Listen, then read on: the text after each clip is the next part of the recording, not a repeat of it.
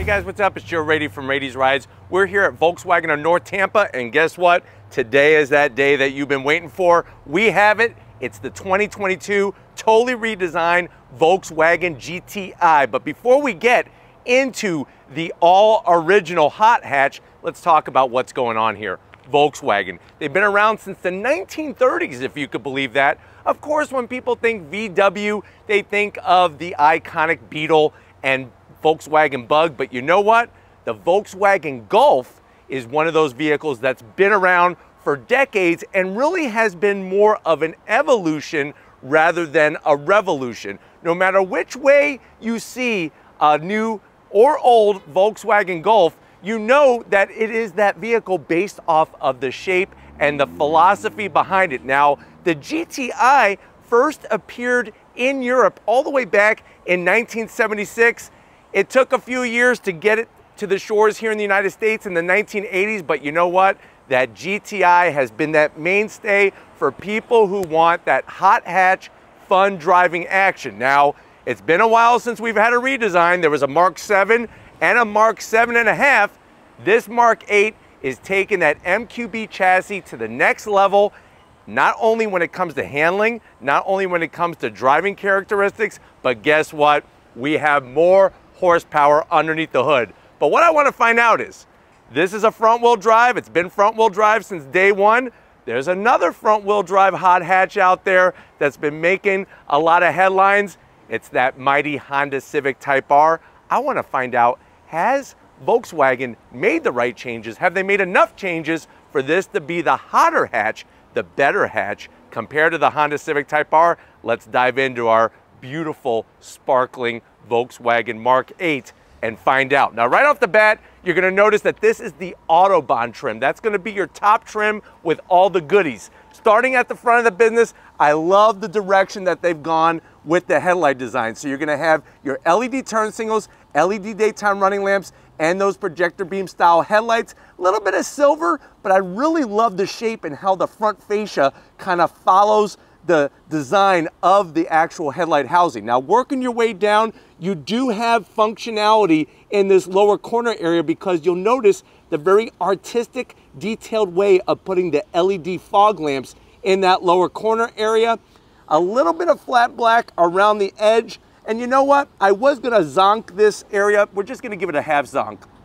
I wish that it did have some aerodynamic flow to it, but at least they put the fog lamps in it. And I love the way they went out of the box, you know, stepped outside the boundaries of design and gave us something very, very unique. Now, as we come across the front, of course, you're gonna get that red trim. And let me know what you think. I kind of liked on the previous generation how they took the red trim and made it flow into the headlight housing, but they have the red trim. It's been there since day one. You got your daytime running lamps, turn signals, extra lighting, and that iconic Volkswagen badge, the people's car with the GTI badge, that takes it to the next level. Takes the Golf platform to the next level. Of course, there's a Golf R with all-wheel drive, but many are saying, and we're gonna find out with our on-throttle drive, that this is actually the more fun GTI Volkswagen to drive compared to the Golf R. Now on the lower end, that's where you're gonna see more of that great design. Flat black is gonna take a great beating. You do have functionality with that massive intercooler peeking behind because like I said, we have more horsepower for 2022. Now when we get up onto the hood, familiar clean lines. I love the way it just rises up. Everything goes towards the windshield. The rest goes right towards the A-pillars and it is that true evolution of the Golf. Now, as we come around the bend, what are we working with? Wheel and tire setup on our Autobahn trim, which remember, you get three trims, S, SE, and Autobahn. Check out the wheels. I love what they've done. The gloss black, the machine aluminum, it's got a nice twisting action to it. It's a 19 inch wheel. Up front, you're gonna find those two 35s on the width, nice rubber band-esque sidewall there all the way around, nice 30 series sidewall. And then of course you're gonna get those bright red calipers, looking good. It's not a six piston Brembo or anything like that. We're gonna find out how effective they are. But when we're talking rotors, you got over 13 inch rotors up front, fully ventilated. And on this Autobahn trim, the suspension is that DCC adaptive dampers, all four corners, Love the style with our particular color. I'm calling this color mellow yellow, man, because it's really a cool color to behold in the sun. Of course, when it comes to body lines, everything is clean. I like the way they brought the GTI badge, kept it on the fender, a little bit of red to blend it in with what's going on at the front. We do have the color match on the mirror caps, LED turn signals in those mirror caps, and then you'll notice the flat black lower sill that is unique to the GTI Really gives it that sporty extra aero look to it. Color match door handles. We have an oversized sunroof. The one thing I wish they would have done is blacked out the whole top. So I am gonna zonk that, but I do like the oversized sunroof. They painted black here. How about paint this rear area black, especially with the black shark fin antenna. But the silhouette of this car is that familiar shape. Even though it's a redesign, that hot hatch shape really has withstood the test of time. Plus, wait until you see the usability. As we come towards the rear, we went with that nice angle on the opening for your fuel filler door and then coming around the back, just like up front, they did a great job LED taillights. Volkswagen's always done a great job with the way they designed the taillights. You got a nice low roof spoiler with a kick up to it. The one thing that I am gonna zonk is the wiper. It'd be nice to kind of tuck it underneath and just clean up the rear glass. But you know what? They did a great job cleaning everything else up. You got your Volkswagen badge. This also acts as your handle to open up the rear hatch. Just simple GTI, nothing else. And then you're gonna have your one exhaust pipe on each side with that polished tip. But you know what? It's not just about how it looks. Let's check out how it's gonna sound. Let's pop the hood and see what's powering our new GTI. guys, we got the hood open to the all new GTI. Underneath the hood, we do have a prop rod. It's been there since day one, so we're not gonna zonk that, but definitely not gonna zonk what's happening horsepower-wise. Now, when you look at the engine cover, it is a little bland. It would be nice if there was a Volkswagen badge on it, maybe even a GTI badge, maybe even a splash of red, since red is synonymous with the GTI. But what are we looking at on our Autobahn edition? We're looking at a two-liter inline-four turbocharged engine now producing 241 horsepower. That's 13 more horsepower than the Mark 7 and Mark 7.5. 273 pound-feet of torque. It is mated to a seven-speed DCT. Remember, Volkswagen calls that a DSG transmission. It's nothing different. It's just a different name that they call their DCT. Here's the fun th news. It's got an active limited slip diff, that's standard, with launch control and the seven speed. DCT, you're looking zero to 60 in about five seconds flat. Quarter mile is gonna go by at 13.5 seconds at 106 miles an hour. Top speed is 155 miles an hour. Now this little hot hatch weighs 3,154 pounds. MPGs, 24 in the city, 32 on the highway. And like I said, we got those DCC active dampers, all four corners, updated chassis. Now, when we're comparing this to the Type R, guess what? We have not as much horsepower as the Type R, but you can't get a seven-speed DCT in the Type R or launch control. But why don't we go ahead, let's fire up our Volkswagen GTI and hear what it sounds like.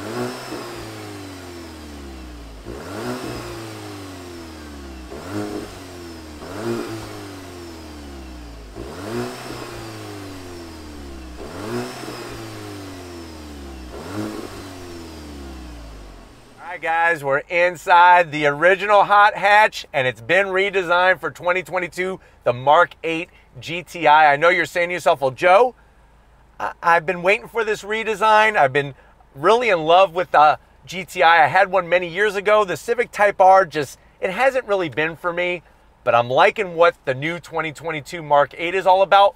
But how much is it? So this Autobahn trim, which remember is the top trim, S, SE, and then Autobahn, the way that it's optioned is right at an MSRP of $40,899. Let's see what you get for the money. To the door panels. Love the clean German Euro styling. Soft touch material up top, a little bit of silver on the door handle, but the great news is no gloss black. I'm even liking the design that they did in the middle area there. Not really meant to look like carbon fiber, but it looks like something different and I like it. Soft touch material on the armrest, Door pocket has some felt lining, so the great news is you could put a couple Bavarian pretzels in there and you're not gonna scratch any of the salt off. Plus, there's plenty of room for a bottle of Yoo-Hoo to wash it all down. Now, going from the door panel to the dash, same story. Soft touch material, the Autobahn trim comes with the full Harman Kardon sound system. There's that nice stylish trim I was telling you about. And if you look very, very closely, you'll see the ambient lighting that's lurking in between the two sections of the dash. The way they integrated the AC vents, very, very clean. And then guess what? We have an all new infotainment system. So over 10 inches of info system display. There is a bit of gloss black, but the great news is a lot of the screen is taken up and look at the hand gestures. So I could actually swipe left to right and have the different functions come up. See how it came up? And then back. There you go. So you're going to have your navigation, your Apple CarPlay, your Android Auto, ventilated seats and heated seats. But wait, there's a lot more going on here. If you hit your main screen, you can see how you bring up the four separate screens. We go into vehicle, and this is where things get interesting. You could turn on and off your start stop feature, uh, feature for the vehicle. You could check on your tire pressure, whatever you need. And what I love are the graphics. Super, super clean. We could go inside, well, we're outside, but we could go to the interior. That's where you could adjust your head up, head up display. You could go into your different cockpit settings, which are wonderful. And then the interior lighting is where you can make all those different adjustments. Easy peasy, lemon squeezy, and plenty of graphics. Look at that, nice swipe features, clear, smooth. There's no actual physical buttons. So let me know how you think about that when it comes to a lot of the adjustments are gonna be done through the screen, or if you notice, they do have the ability to tap here and you could adjust your audio, you could adjust your temperature by touching on this panel down below. Now let me go ahead and throw it into reverse. There we are, backup camera, nice clear resolution, plus you're gonna have that sensory protection all the way around. Put it back into park, and then I actually just shut the engine off to let you know that guess what? It says goodbye. And then we're gonna fire it right back up. Look at that, brings you right back to where we started. Go back in. How about modes? You could actually make adjustments here in this middle area to the infotainment system, we go into modes. There's our different mode settings eco, comfort, sport, and custom. We're staying in full sport mode. You got the racetrack. That's what we're all about. Let's continue our journey. Wireless charging. Nice large cubby here for the big phones. Get them charged up and some ambient lighting. We do have a Slim Jim holder, holds up the two Slim Jims. And then here is your new way of getting through the seven speed DCT. That DSG transmission kind of looks a little interesting because it's like a little nub, but the nice news is it's all flat black around it. I do like the silver trim. And then working our way back, you get two cup holders, but watch this. Let's say you have one of those little skinny but tall bottles and you don't want it bouncing around, ba-bam! Now you actually can lock and have it loaded and it's not gonna slide all over the place. Key fob, new for 2022, looking classy with the silver. There's your buttons on the back. We do have a 12 volt soft material on the armrest with the red stitching. The nice thing is you could put it here, you could put it back here, you could kind of put it in the middle, you could extend it back out, and when it comes to opening it, you could probably put about I would say eight golf balls in there. Get them all, get your balls polished up. You'll put them in there. There's some felt lining. Plus, it's a ratcheting armrest. I don't love ratcheting armrests, but maybe you want to have your elbow here as you're going down the road, looking good, people looking at you, and then you just ratchet it right back. Seats, though, is the cherry on top of this GTI Sunday. Love the gray, the black finishes, nice bolstering, nothing too crazy when it comes to the bolstering, but it's gonna hold you in place an improvement over the previous gen seats. There's manual bottom, electric back. Kind of weird that they did that, especially on the Autobahn, but here's that wonderful sunroof. I was showing you on the outside. Get your vitamin D. I'm six feet tall, and the great news is you could have even taller people in here, and they got plenty of room. But why don't you come over here? I want to show you behind this beautiful flat bottom leather wrap steering wheel in our all new GTI. All right, guys, here we are, business time. Like you've noticed from other previous generations, Volkswagen does a thing with the GTI compared to the other hot hatches where the level of fit, feel, and finish is that much higher. And it all starts with the pedal box. They do a great job with the amount of room, nice large aluminum dead pedal, brake pedal and throttle. Of course, you could still get that six-speed manual with the third pedal, and that's the way I would spec mine, but you get great electric seat controls, including the lower lumbar on the driver's side, and you're gonna, of course, have three memory seat settings. The space is great, the leather is even better. Nice quality, perforated on the sides, flat bottom racer-esque to the overall design. Little bit of red taken from the exterior, that GTI name with the gloss black, the silver looking slick.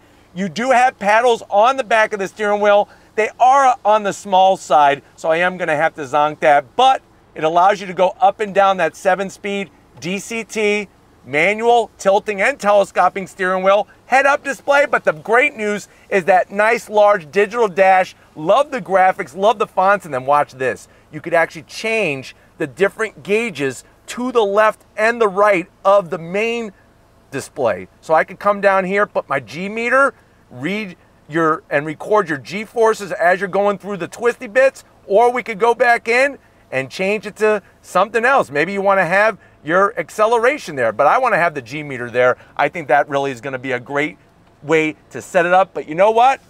Up front is awesome, lots of room. Let's see how your passengers are gonna like living in this hot hatch with you. All right guys, backseat time in this all new GTI. Now what's great is, is you're gonna get the same awesome amount of room in here. I mean, it's crazy to think six feet tall, but yet I'm not even close to the headliner in here. And this is a compact car, but let's look at the back of the seats. I love the way they did these one-piece backs. And if you notice, you actually have two pockets up top and one larger pocket down below. Enough space here to put at least four slices of German chocolate cake. And here's the fun fact. German chocolate cake is actually not from Germany.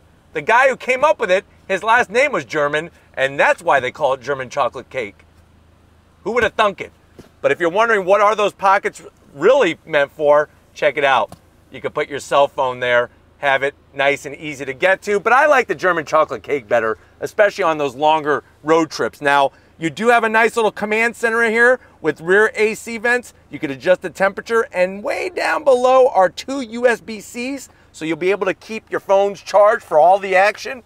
Like I said, plenty of leg room, feeling great. And then on top of that, pull this bad boy down and you have a decent size armrest, just enough room for an arm so we don't have to worry about zonking it. Put it back up, but you know what? They call this a hot hatch. Hot hatches and hatchbacks are supposed to be versatile. Let's get in that cargo area and see what we could haul in the new GTI. Right, guys, time to get into that hatchback area. This is a hot hatch. Of course, that's what makes it so versatile. You just lift right up, nice, easy peasy, lemon squeezy. And in the back, you're gonna find yourself 20 cubic feet of space with the rear seats up. You do have a nice little nook over here on the driver's side for that small box of Twinkies. This is almost the color of a plutonium Twinkie. And then on the passenger side, there is a 12 volt up in the corner. That makes it very usable. And then really the biggest news is go do your Costco run because you just push the buttons and you can flip down the seats so easily one, two, three. Look at all that room you have. Nice flat area for that big old box of Oreos at Costco. And then the even better news is, in a day and age where on your Type R, you're not gonna get a spare, you actually get a spare on your GTI. But you know what? Let's go ahead. This is a hot hatch. I wanna find out how hot it is. If you're ready, I'm ready. Let's go on throttle in our 2022 GTI. All right, guys, we're in the all new 2022 Volkswagen GTI. We left Volkswagen of North Tampa and we are gonna get ready to do some on throttle here. I'm gonna leave it in auto shift mode from a dead stop. On throttle, here we go, yeah! nice! Love the sound. telling you, you're definitely gonna feel the extra 18 horsepower in this redesigned Mark 8. It's interesting because sitting here, it feels familiar, but it also feels new. And that's what I like about it. Now, I know there's been a lot of auto journalists who have complained about the controls, specifically things like climate and radio without having physical knobs. You know, at first I was a little worried. It actually isn't too bad. I think the one thing that is probably going to annoy a lot of people is it's hard to fine tune things. Like when you want your blower fan speed to be just perfect to where it's not, you're not in a wind tunnel, but you're also getting enough air to keep it cool or keep you warm. It's hard to fine tune things, but once you figure out how to use the system, it's actually very intuitive to be honest with you. I love having the nice large digital dash and the seats are some of my favorite. And when you're comparing this to the Civic Type R, you just feel, everything in here feels higher level. That's for sure. Now, Civic Type R does have more horsepower, but remember, you can't get any kind of DCT transmission. It's only the six-speed manual. What I'm gonna do is I'm now gonna shift with the paddles. You get a nice large gear indicator. And I'm really digging the sound too. Obviously, it being pumped into the cabin, but I think the way they did the sound, it doesn't seem too over the top uh, where you just know that it's fake. I think they really did a great job kind of encompassing what the environment should be for a GTI. Visibility, just like previous generations, is spot on the money. Side mirrors are great. It's a little gloss black heavy, especially around the digital instrumentation, but the way the colors and the graphics and the fonts are, are really, really well done. And I like the way you could change what is actually displayed while you're driving. So that's great. And it's easy to figure out. Steering wheel has a nice feel, nice thickness to it. And the way the seven speed downshifts, I mean, it's very, very smooth. And when you go on throttle, wow, it actually puts you back in the seat compared to the previous generation, the Mark 7. You definitely feeling that extra rush of boost. Now, the great news is, being front wheel drive, it is going to be lighter than the Golf R. The bad news is you don't have the all wheel drive, but you do have that active limited slip diff to help you get the power to the ground. And I'm so happy that they just made it standard instead of making it an option on a trim or something like that. Paddles are a little on the small side, just like before. Would be nice if they were a little larger, and also um, if they were made out of metal would be a nice, nice overall touch. But if you're ready, I'm ready. Throttle, here we go. Yeah. Breaking traction a little bit. On the brakes, here we go. Let's see how it feels. Nice down, woohoo! Wow! Turning is phenomenal. Look at this. Loving it. I'm telling you right now. Now, if you ask somebody at VW, they say they have eliminated understeer. I'm not so sure about that. I mean, we're just driving it on the road. I would like to take this to a track to really be able to find the limits. But I'm telling you right now, compared to previous generation, turn in is very nice and crisp. And I like the way the rear kind of rotates a little bit to give you that corner exit out of the turn to where you really could carry the speed. That's where it's showing all that engineering between the Mark 8 and the Mark 7 and a half or 7.5. But the downshifts are great. I mean, look at this. Really grips the road nice. Now, of course, the Type R comes with those super sticky track specific focus tires. So you're, you're not gonna have as much grip as the Type R, but it would be interesting to put this on equal tire footing with the Type R. Another thing is, with the Type R, you got those 20 inch wheels with the ultra thin sidewall tires. These being 19 inch are gonna be more livable on a day-to-day basis for sure. All right, here we go. On throttle, yeah! Put a smile on your face. Look at this. Downshift's nice. Look at the way the turning. Oh my God. For a front wheel drive car, I'm telling you, they've done one heck of a job on this thing. Wow. Now, the one thing I am noticing that just happened there, I came out of the turn and I saw a sign come up on the screen saying steering wheel heating is on. I don't want that. It was accidentally touched and that would be something that if you're going through the twisty bit, you got to be careful where you're putting your palms on this. But uh, still, the steering wheel has a great shape to it and definitely great feedback. But let's go again. On throttle, here we go. On the brakes. Nice stable on the brakes too. Look at this. Wow, turning. Decreasing radius. Understeer was very limited there.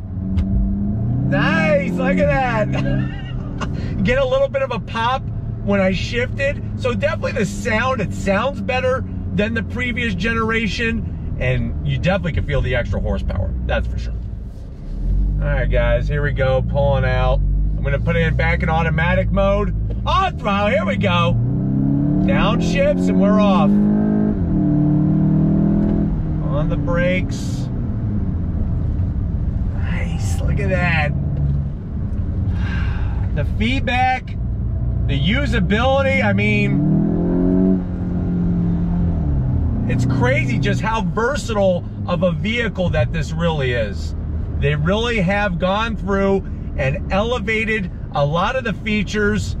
It's going to be a mixed bag what people think about the infotainment side of things. It does clean up the whole interior, but I would like some physical knobs. You got plenty of USBs up front, USB-Cs, and the wireless charging, which is great, but just uh, would be nice to actually have some physical buttons and knobs in here. All right, guys, one more time for me, one more time for you.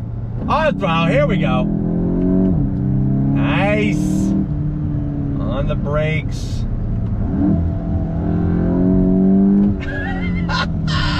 this is fun. That's what's so great about this car. There we go. Nice. I'm telling you, they did a great job.